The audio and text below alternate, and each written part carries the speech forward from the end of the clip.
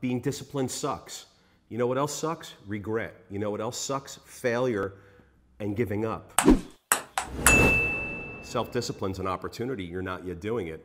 How do you do it? People have talked about and written about self discipline, success habits, habits of highly effective people, Stephen Covey, uh, for a long time, right? We've all seen and heard a lot of these lists and bullet points and recommendations for how to be successful or the differences between successful people and not successful people.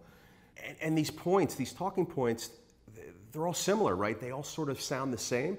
There's a reason they sound the same because they're true. You know, get up early, be focused, uh, create goals, measure your, your performance, right? Manage and measure your performance. Um, begin with the end in mind from Stephen Covey. I always love that one.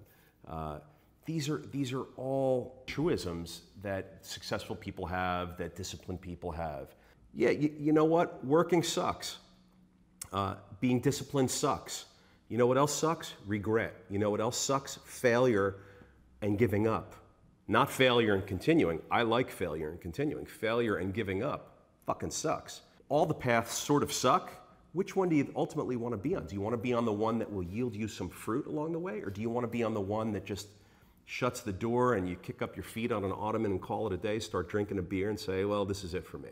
I mean, I don't want the regret. I know that all the successful people I know, they don't have regrets. They, they get fueled by, by failure. Failure is a learning opportunity for them. I mean, Thomas Edison, right? He, I mean, he, he, fucked up making the light bulb 10,000 times. He didn't say, I fucked up make, making a light bulb 10,000 times. He said, well, I figured out 10,000 ways not to do it, and then I figured out the way to do it. It's a highly resilient, highly optimistic way to think.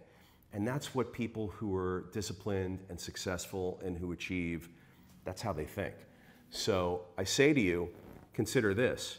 Uh, if self discipline sucks, how do you feel about regret and quitting? Because to me, that sucks worse.